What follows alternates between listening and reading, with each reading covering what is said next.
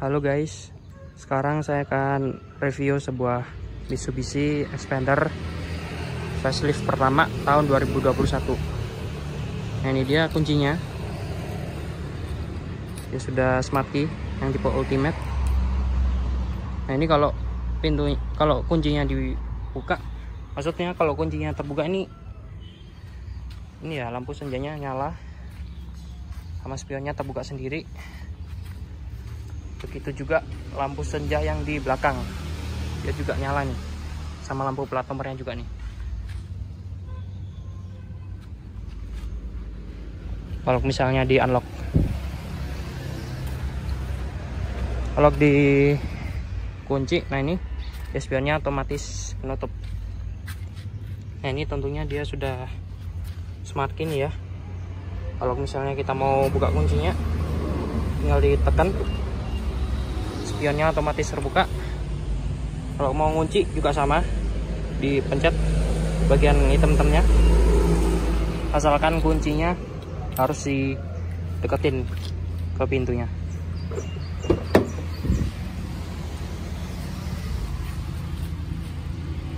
Nah ini dia door trimnya. Sayangnya yang facelift awal-awal ini masih full plastik nih door trimnya. Dengan jahitan-jahitan palsu ini juga kulit-kulitnya palsu nih ya. Plastik. Sini juga. Ini ada wood panel warna terang silver handle chrome.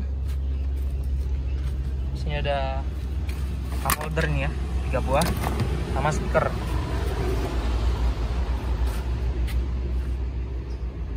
ini bahan joknya ini fabric. Tapi ini aus banget nih teksturnya. Ini ada pengaturan reclining adjuster yang model putar sama sliding di sini.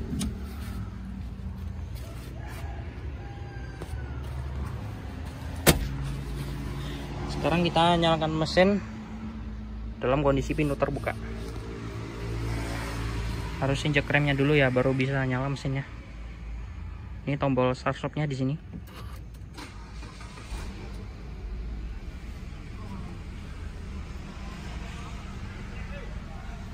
ini ada logo expandernya di head unit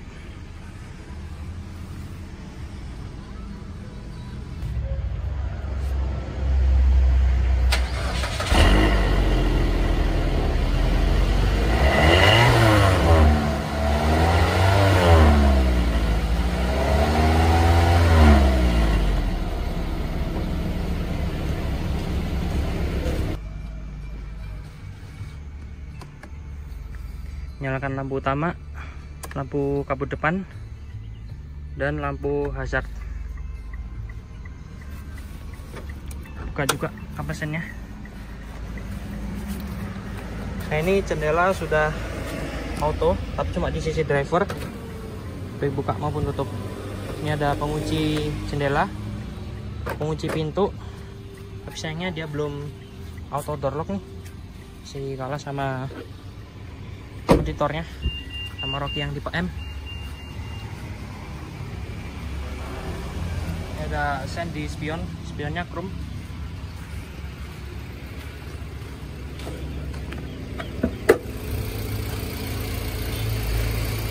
Nah ini mesinnya.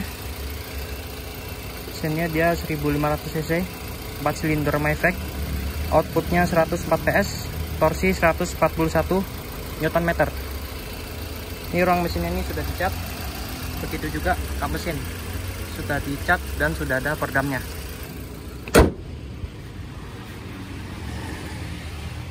nah ini tadi lampu senjanya LED ini lampunya sudah LED lampu utamanya. Tapi fog lampnya masih halogen. Ada underguard silver di bawah. Nah ini grillnya nih itu bukan hitam glossy nih ini grillnya chrome yang ultimate nih cuma ini di stiker warna hitam nih jadi jadinya nih grillnya hitam glossy. Nah ini velgnya tutan polish.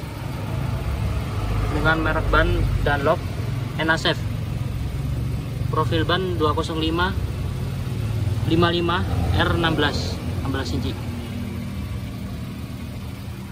depan dia cakram. Tapi rem belakang dia tromol nih ya. Ini ada garis ini di pintunya. Ini aslinya chrome. Cuma ini di stikerin warna hitam. Ini logonya aslinya chrome. Cuma ini sudah diganti warna hitam. Nah ini belakangnya kayak gini ini lampunya sudah LED lampu senjanya. Tapi lampu remnya halogen lampu sen LED eh lampu sen maksud saya masih halogen mohon maaf. Tapi ini lampu mundur sudah LED nih. Sini ada wiper belakang defogger belakang lampu rem belakang sama antena yang model Sharkfin ada tulisan expander ini emblem tipe ultimate. Ada reflektor kiri kanan sama ada sensor parkir. Ini yang di versi luar nih pokoknya belakang nih. Cuma di versi Indonesia disunat. Ini ada knalpot ada ban serep di bawah.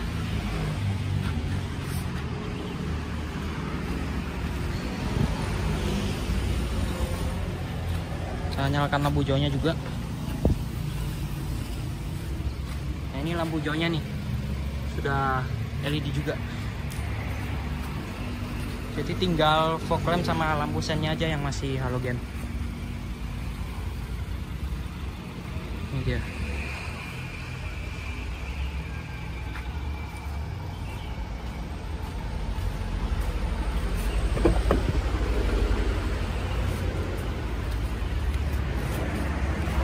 Sini ada ventilasi AC lagi-lagi di sini ada jatan palsu nih nggak cuma di door trim jatan palsunya. Sini juga ada jatan palsu sini. Nih. Sini ada tombol info untuk MID ini sobatan tadi. Ini untuk elektrik tombol untuk elektrik kaca spion. Sama tombol untuk melipat spion. Kayak gini sini ada vehicle stability control. Sebelahnya tombol kosong. Sini ada laci yang bisa dibuka tutup. Ini pedalnya ada dua karena ini yang transmisi automatic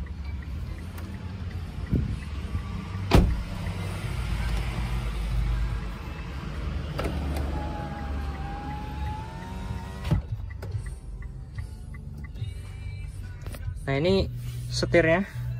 Dia di kapalang. Kayak Mitsubishi Mirage ini.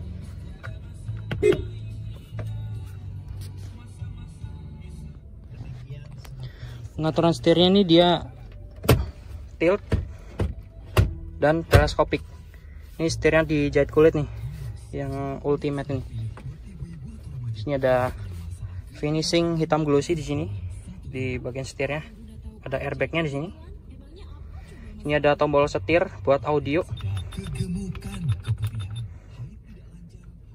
Dan ini untuk bluetooth telepon nih.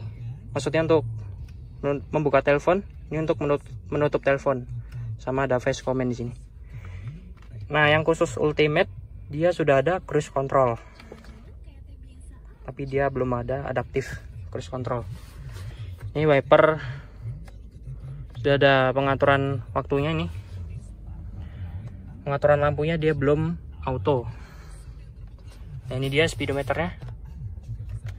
Warna putih nyalanya. Dengan layar di tengahnya.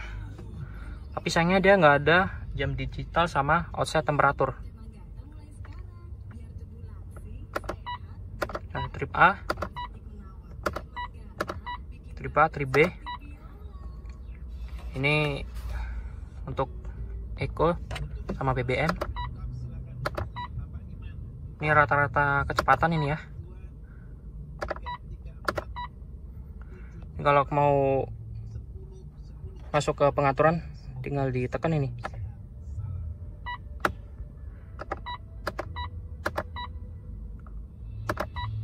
Ini bahasa bisa diatur. Kayak gini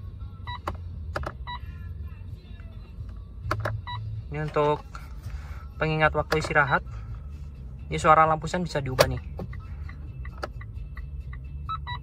Nah, kayak gini.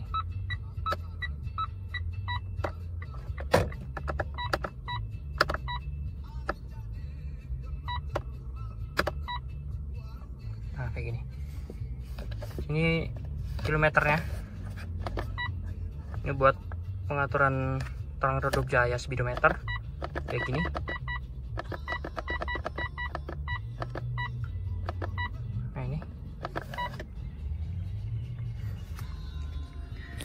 ini dia head unitnya. Monitor. Ini mereknya Sony nih ya head unitnya. Aksi itu dilakukan diduga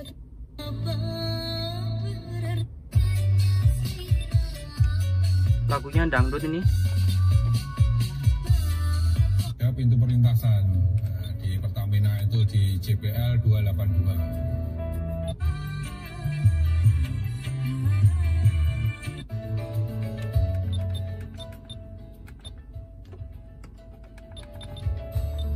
ini menunya ini radio bluetooth telepon, ada USB port 1 penjaganya ada USB port 2 sebelah, sebelah sana. nah, ini USB port satunya nih Ini kamera belakang. Bisa dinyalakan. kan ini pengaturan ini umum bahasa bisa diatur tanggal waktu kalau dulu di wilayah Kediri itu kecepatannya 60 km per bunyi bip Nah, kamera belakang. Kediri itu sudah 110 km per jam. Ini posisi pengemudi. Uh, ya Ini suara. menganggapnya, "Oh, kok terlalu lama jaga uh, Pengaturan suara speaker. ini equalizer. Pengaturan posisi speaker.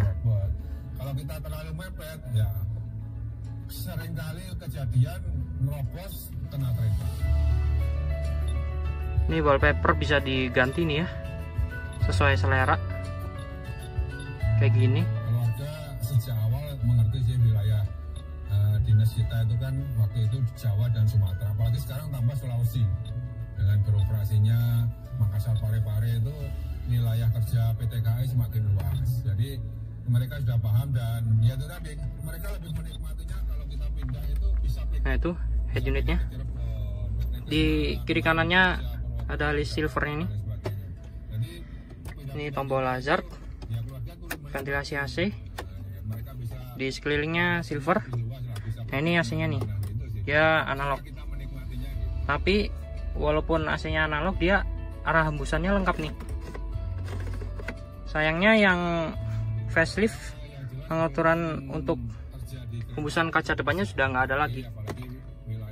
Bisanya cuma arah kaki sama arah muka yang facelift. Tapi yang facelift awal-awal ini ya masih bisa untuk hembusan kaca depan. Ini fan speed. Sama ini untuk suhu. Dia nggak ada heaternya. Ini tombol kosong. Ini untuk sirkulasi udara ini untuk defogger belakang. Ini ada laci nih. Ini separatornya bisa copot ini. Kayak gini. Kalau misalnya nggak mau dipakai bisa dilepas pasang. Ini kalau misalnya terpasang nih bisa buat naruh kunci nih. Kayak gini. Sini tombol kosong. Ini yang tipe sport yang awal-awal launching nih jadi port USB nih di sini posisinya. Ini ada power outlet ada laci di dalamnya. Sama ini ada laci yang bisa dibuka tutup. Kayak gini. Nah ini transmisinya automatic gear AT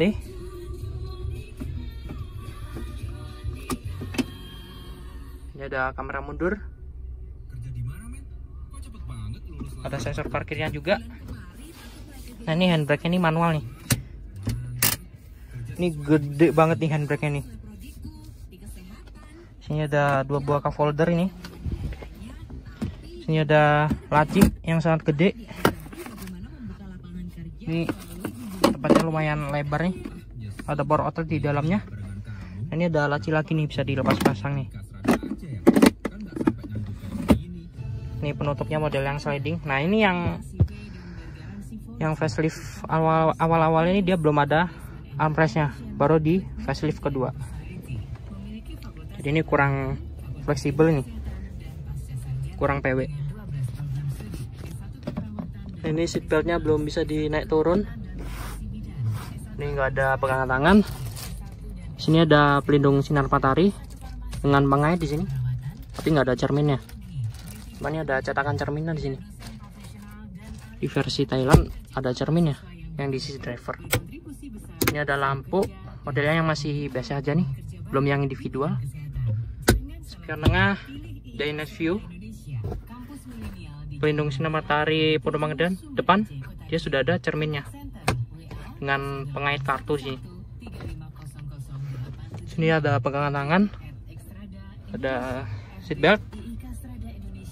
Safety ini dua SLS airbag ini ya. Ada white panel warna terang di sini.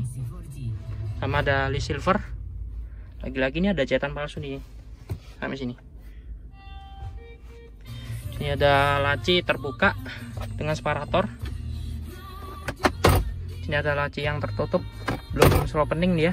Nah ini nih kabel USB port 2 nya ini. Masih terpisah di laci.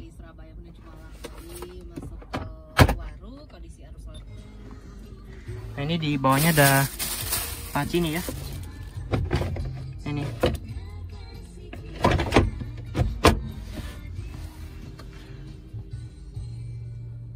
mungkin segini dalamnya.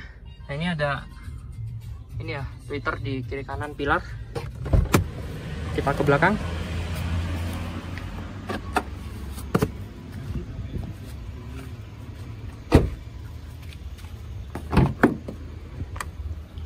Di belakang sama ini ya. Jahitannya jahitan palsu. Banyak full plastik. Ada buat panel warna terang. Handle chrome ini ada hitam glusinya tadi. Ini ada tiga buah cup holder nih sama speaker.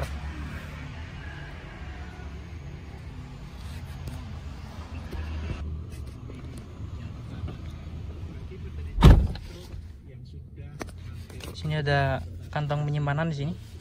Di belakang kursi driver sama penumpang depan. Nah ini yang di belakang penumpang depan dia ada kantongnya lagi nih dua dan ini dashboard depannya.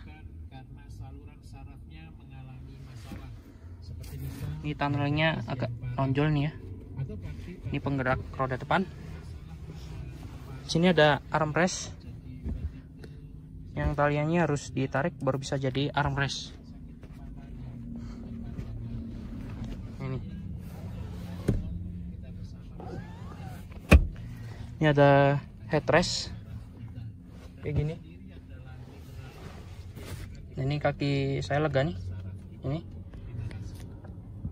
Begitu juga kepala saya lega banget. Sini ada ventilasi AC AC belakang double blower. Ada pegangan tangan. Sini juga. Ada seat belt. Ada seat belt di plafon ini ya. Ada lampu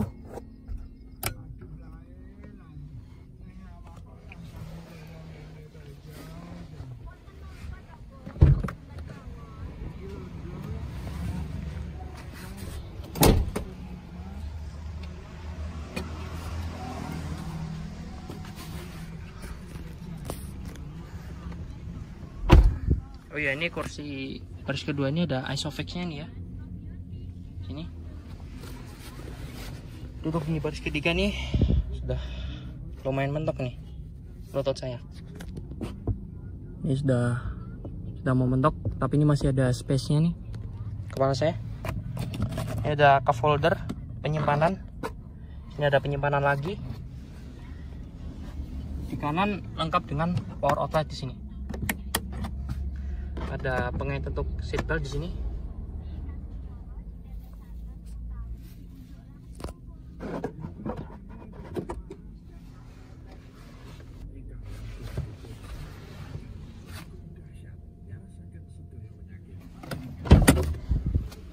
Oh ya ini ada seatbeltnya di baris ketiga.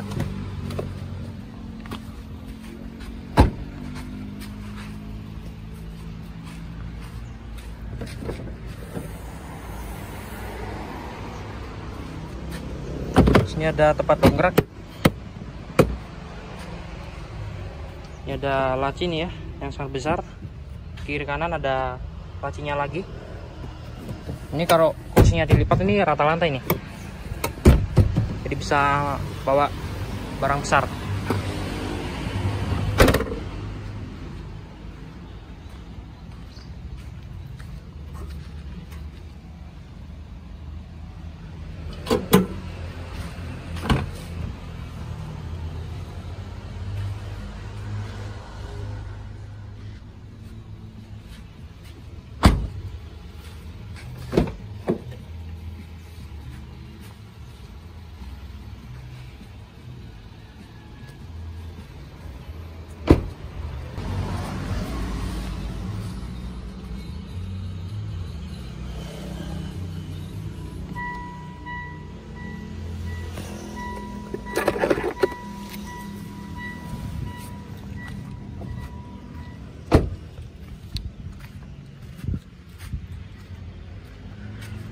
Sekian video saya untuk review sebuah Mitsubishi Expander Ultimate facelift awal tahun 2021.